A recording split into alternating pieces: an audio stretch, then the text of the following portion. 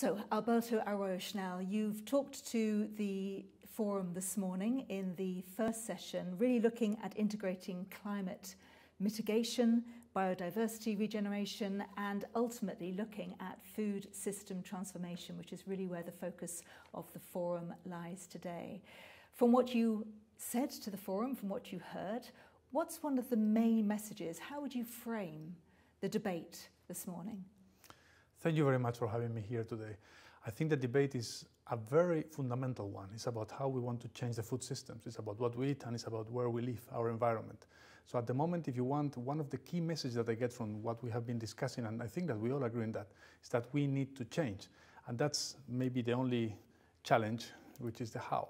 And when it comes to what can be done, there are a number of sustainable agriculture approaches that can be used. Actually, sustainable agriculture is not only one way of doing the things, it's multiple. And that is helpful because it means that for different circumstances, administrative, biogeographical, any other, we can use different ways of doing the things. There, I would like to actually refer to a recent publication that we have from IUCN, Sustainable Agriculture Approaches. And you will read there all this difficult, sometimes, terminology related with sustainable agriculture, regenerative agriculture, conservation agriculture, carbon farming, sustainable intensification, agroecology. All these are valid ways. At the very end, anyway, I have to say that one of the key conclusions that we got from this uh, discussion is that it all boils down to the practices, what is really done at the farm level. And there it doesn't matter how you call it. It is sustainable or it is not sustainable. And I think that one of the key issues that we have been discussing this morning and can be helpful to keep in future, keeping in our minds for the future is that it is possible. It is just a matter of making it happen from the perspective of regulators, farmers, and all the different actors. Of course, you are the head of policy and programme for the International Union for the Cons Conservation of Nature, and you mentioned your report there, which has been very significant in looking at that.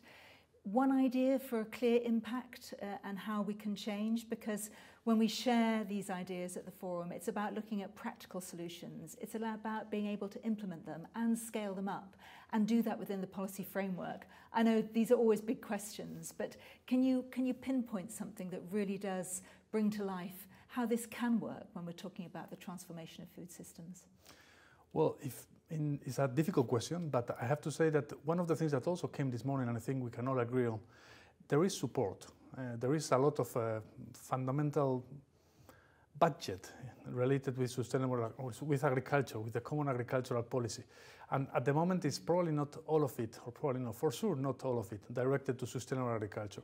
So if we could redirect what is already being used for agriculture to ensure that a future that is sustainable, probably we will be in a better path. It's much more what needs to be done. You were asking me for one specific question, and that's maybe one of the issues that probably is not an easy one even, but it's one of the fundamental ones that will help. Of course, we had a psychologist talk to us at the start of uh, the session and looking at behaviours. So, whether you think about using the stick or using the carrot to change behaviour, uh, he talked about that. Uh, and one of the issues was raised was taxation of waste to change behaviour. What was your view and what did you hear on the debate there?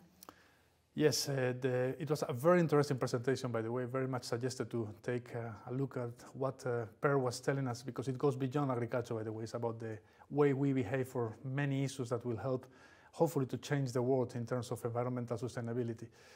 It is uh, probably one of the part of the solution, what uh, he was mentioning about the taxation. I would say that uh, there are many other issues that need to be included into this discussion, and one that I would like to highlight here is uh, also one that I highlighted this morning.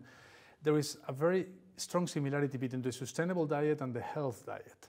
And if we make sure that we send the message to the citizens that at the very end are the ones that can make a change when it comes to, consume, to consumption, that uh, whatever you eat is not going to help your head, your health, excuse me, but also the environment, maybe it's a good starting point.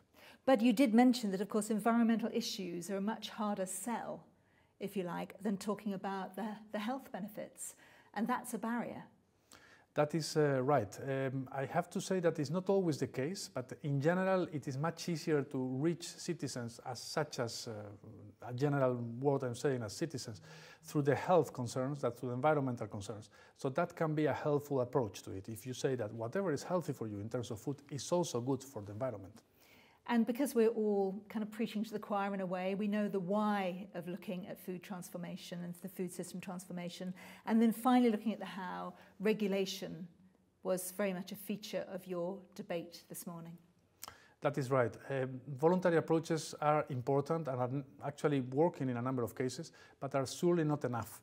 And actually, one of the messages I was also sending this morning is that we are maybe in the right direction. We are really going into more and more greener solutions, but we are not running enough. We are not in the speed that we need to be to ensure that we really tackle the issue. So regulation there can help. It was a very interesting example what Per was mentioning about the change in the smoking behavior before. It's a strong one, but uh, it's a way to see how different the things can be just introducing some kind of, sometimes maybe strong provisions. So this was Per Espen Stoknes who, who said that smoking, the parallel, the regulation was there. Then, of course, it came soon after election, and so there was time to establish the regulation and, and see the results. Yes, and maybe I would like to add another example that can be also helpful here. Around 30 years ago, maybe we were not even thinking that it will be normal for us to separate the rubbish in different containers. And now it's the most normal thing of the world. And even our children sometimes are better than us in doing this. Well, probably in future, if we're speaking about a transformation that needs to happen in the agricultural sector, probably this is something that we will see very differently in future. Do you have an optimistic note to end on? End on? You've mentioned the, the new generation coming forward, but at the same time, we know at the forum we've talked about time is not on our side. You know, the idea of you know, one minute to midnight and you know, this last chance saloon that we find ourselves in. But do you have hope as a final message, Alberto? I can only be optimistic. I am Spaniard, and maybe that's part of it, but I definitely can only watch the future with a future tone. I think that we have advanced a lot. It's not the same as it was before. I mentioned recycling. We could mention many other issues like nature conservation and many others. We will be in our path, and we should be. Actually, we learn slowly, unfortunately, but we finally do the things. I think that the society nowadays understands things much better. It was not easy to find the word biodiversity in the speeches of high level politicians in the past, only maybe for some not so good issues. Now it's the most normal thing of the world. We have advanced. Thank you, Alberto Arroyo Schnell. Thank you so much for Thank talking you. to us today.